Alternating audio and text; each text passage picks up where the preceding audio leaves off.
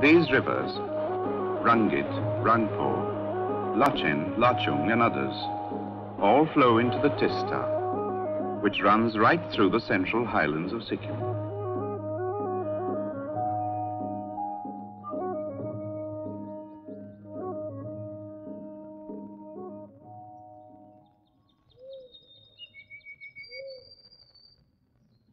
The true grandeur of Sikkim, however, is to be discovered in the incredible range and variety of its Himalayan flora.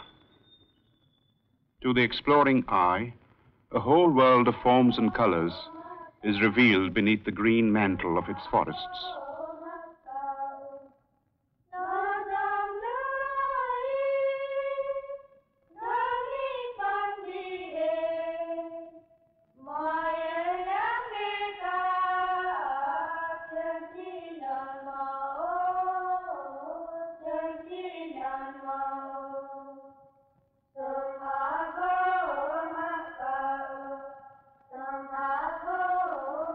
The glory of Sikkim is the rhododendron.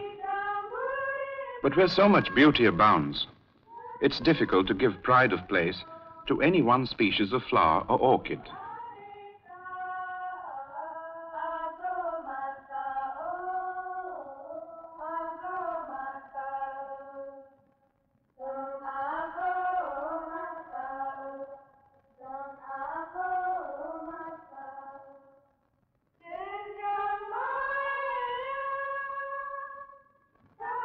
While the flowers and orchids add to the natural beauty of the place, there are other growing things which bring another kind of benefit to Sikkim.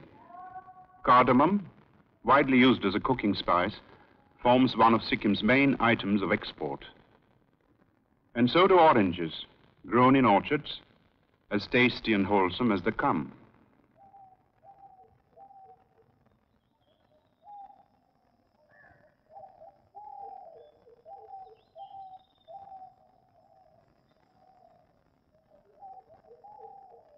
Farming in Sikkim is dictated by the nature of the terrain.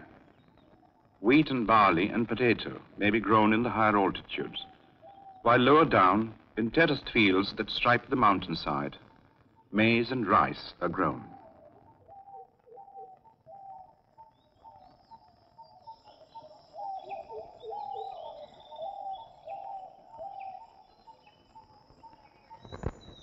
In the valleys of Sikkim are the villages.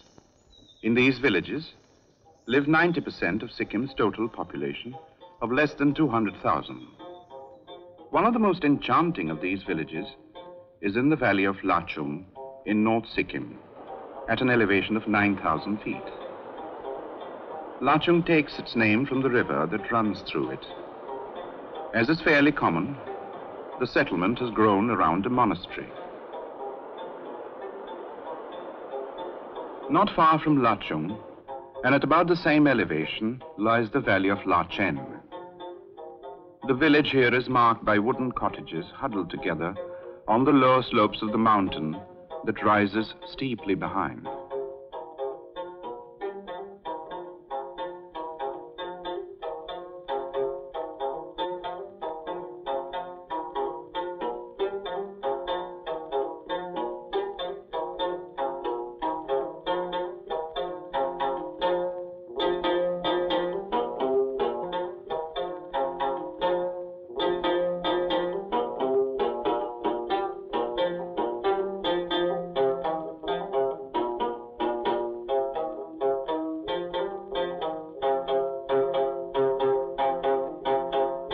The people of Lachen belong to a border tribe that originally came from Tibet.